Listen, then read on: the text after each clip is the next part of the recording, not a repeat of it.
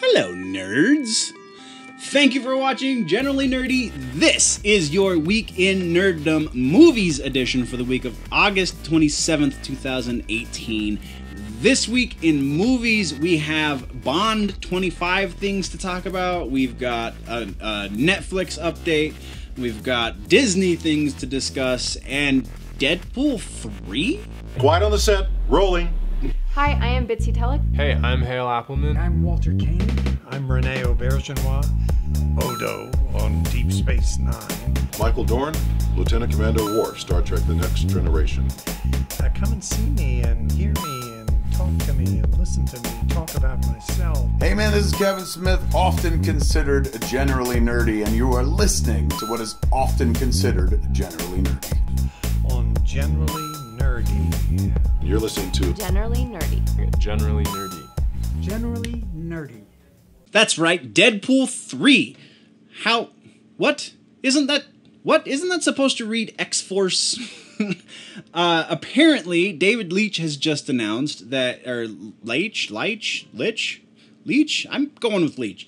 Uh, just announced that he is coming back for Deadpool 3 as soon as he's finished with his Fast and Furious spinoff, Hobbs and. What is it? Hobbs and Shaw. Again, what? Uh, all of the announcements we got at the, at the release of Deadpool 2 said that a 3 is super unlikely because we've expanded the universe into including X-Force and so the next movie is going to be X-Force and that was going to be what carried our Deadpool fix from here going forward, at least in the foreseeable future, was X Force and not actual Deadpool movies. I'm not complaining by any stretch of the imagination, but it's just weird that I mean, it made money. Both both Deadpool movies have made a lot of money, so it makes sense that they would want another Deadpool branded movie and test the waters with some X Force uh, yeah, we'll see what happens. I've, I've, this could be a great thing because the more Deadpool, the merrier, right? So, yeah. Next is Little Mermaid.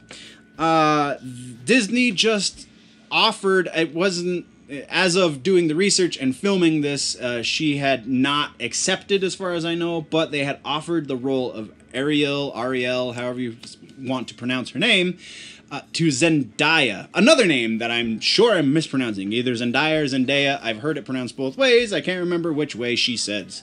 Because diversity. I that's all I can say. It- there's no no reason for this other than just because diversity. And eh, yes, I understand the original Little Mermaid will always be a thing. You can always go watch the original animated movie or go read the Hans Christian Andersen uh, story or try and find the lore that created the story by Hans Christian Andersen. I just. It, yeah, we're moving on. I'm, we're not touching any more of that because I feel like it's obvious how I feel about this. Next is a really awesome movie music update for Wonder Woman 1984. Hans Zimmer officially announced that he is going to be scoring this movie. Hans Zimmer, for those of you that don't know, did more uh, Christopher Nolan movies. He's he I believe he did the Batman trilogy. I know he did the War one, which I didn't see, but is apparently fantastic. um, uh, just Hans Zimmer is musically, when it comes to film, is a freaking musical genius. He yeah, that this is this this just kind of amps up the expectations for Wonder Woman 1984. So it better be freaking great. There have been some uh, leaked footage, or leaked uh, uh, images rather, from the set of Wonder Woman. We're not going to talk about that because it's nothing really to talk about. It's like, ooh, they're filming a movie. We knew that. Moving on. Next, we're moving over to the Netflix wheelhouse of things. We just got an announcement that there will be a second Death Note live action Netflix movie, uh, presumably with some returning cast members, though you could write it so that it happened somewhere else. But, uh, they're doing this because they called the first movie a quote sizable success end quote um it wasn't horrible but by no means was it a good movie. It was something to watch while you're doing other things. Um, sizable success, based based purely on views. I, maybe I can see how they stretched it into that because again, a lot of people put on Netflix and just go, yeah, sure, let's put that on while I'm balancing my checkbook. I like. I feel like that's a disingenuous rubric to to justify future movies. I feel like the the the aggregated critic scores, so like Rotten Tomatoes and so on and so forth, that should be taken into consideration. Fan uh, fan reaction should be taken into consideration, and I don't see either of those things being taken into consideration if they're making a sequel to this movie. Uh, it was okay as a standalone movie, but again, not that great. So sure, whatever. Do what you want. It's your money, Netflix. You're basically printing the stuff these days anyway. And we're moving on. Our last bit of news is actually kind of multi-tiered bit of news about James Bond, the 25th movie in the franchise, which we know now is going to be starring Daniel Craig.